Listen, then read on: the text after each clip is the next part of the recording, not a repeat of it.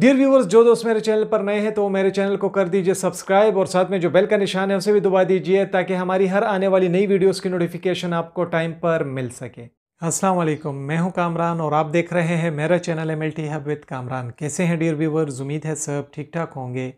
आज की वीडियो का टॉपिक है कि हमारी लेबॉर्ट्री में जो मुख्तलिफ़ किस्म के ब्लड कलेक्शन ट्यूब्स इस्तेमाल होती हैं तो उसमें खून डालने के बाद कौन सी ट्यूब में खून को मिक्स करना होता है और कौन सी ट्यूब में खून को मिक्स नहीं करना होता? तो वक्त ज़ाया नहीं करते, शुरू करते हैं अपना टॉपिक सबसे पहले नंबर पर जो ट्यूब है, वो कहलाती है लेवेंडर टॉप ट्यूब। इसे ई ट्यूब भी कहा जाता है। इसमें खून डालने के बाद ट्यूब को छः से आठ बार ऊपर नीचे मिक्स किया जाता है ताकि अच्छे तरह से इसमें खून मिक्स हो जाए। इसके बाद जो दूसरे नंबर पर ट्यूब है, वो कहलाती है pearl white top tube.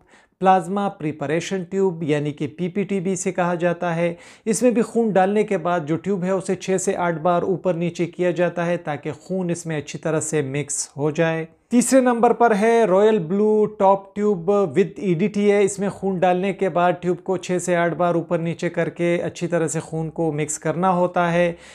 चौथे नंबर पर जो ट्यूब है, वो भी रॉयल ब्लू टॉप ट्यूब है, लेकिन उसमें ई नहीं होता और उसमें खून को मिक्स करने की ज़रूरत नहीं होती।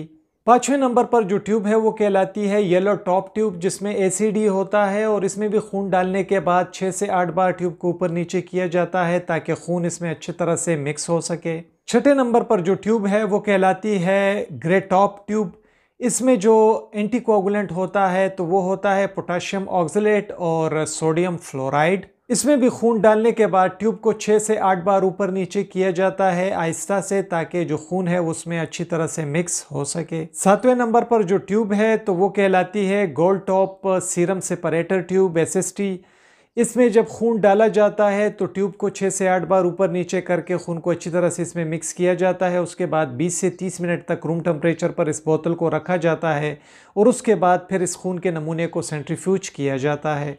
इसके बाद जो ट्यूब है, वो कहलाती है रेड टॉप ट्यूब जो कि प्लास्टिक की होती है। इसमें क्लॉट एक्टिवेटर तो होता है, लेकिन इसके अलावा कोई एंटीकोगुलेंट नहीं होता। कोई प्रिजर्वेटिव या सिपरेटर मटेरियल इसमें नहीं होता। और इसके लिए जो ट्यूब है उसको ऊपर नीचे उल्टा करने की ज़रूरत भी नहीं होती, यानी कि खून को मिक्स करने की ज़रूरत भी इस ट्यूब में नहीं होती। इसके बाद है रेड टॉप ट्यूब ग्लास वाली ट्यूब इसमें किसी भी किस्म का क्लॉट एक्टिवेटर नहीं होता प्रिजर्वेटिव नहीं होता एंटीकोगुलेंट नहीं होता सिपरेटर मटेरियल नहीं होता, और इसमें भी खून को मिक्स करने की ज़रूरत नहीं होती। इसके बाद है पिंक टॉप ट्यूब ईडीटीए वाला।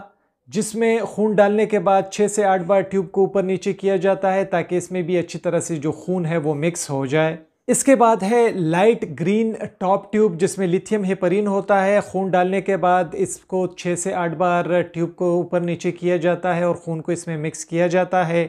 इसके बाद है डार्क ग्रीन टॉप ट्यूब, जिसमें सोडियम हेपरीन होता है और इसमें भी खून डालने के बाद मिक्स किया जाता है।